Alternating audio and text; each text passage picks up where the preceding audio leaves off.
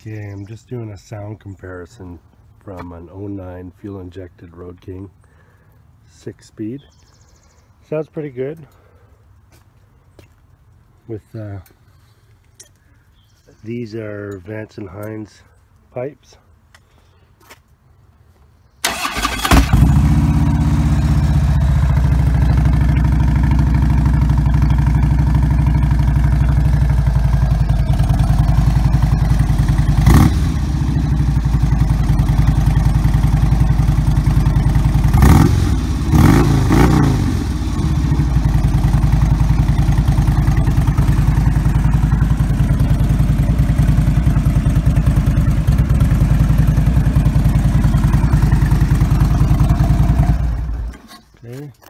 Now comparison to the 98 Fat Boy carbureted Screaming Eagle pipes.